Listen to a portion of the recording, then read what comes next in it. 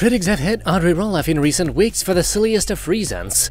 One, she made her husband go for a run to spend time with him. Then she talked about her fireplace and was accused of allegedly flaunting her wealth.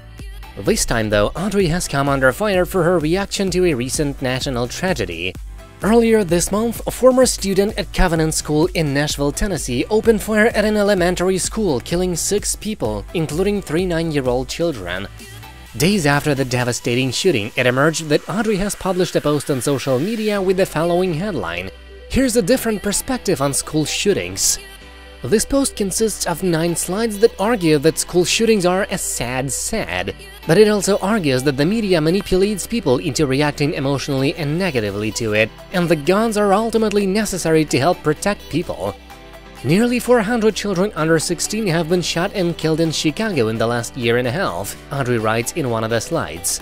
Yet the media insists that the lives of people in school shootings matter most. Why? Because you can't relate to Chicago, you don't live there, so why should you care? The media determines what's worth showing and pulling at your heartstrings. Later in the post, it said guns are used to protect the president, celebrities, banks, courts, jewelry stores, sporting events, and music festivals. It went on to say, why are we arguing about how we can protect children when 100% of school shootings have been stopped by, guess what, by an armed man? There is a complete lack of common sense here, because first, there is plenty of coverage of murder rates in cities like Chicago. It is entirely possible to cover these tragic events in school shootings. Second, those guns used to shoot presidents, celebrities, banks, courts, jewelry stores, sporting events, and music festivals. They're handguns. Not a single person advocating gun control legislation is advocating banning handguns.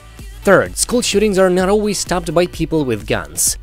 Countless social media users have expressed their anger and shock at Audrey's affirmative stance in this post. Don't be like Audrey, have common sense and subscribe to my channel. Please.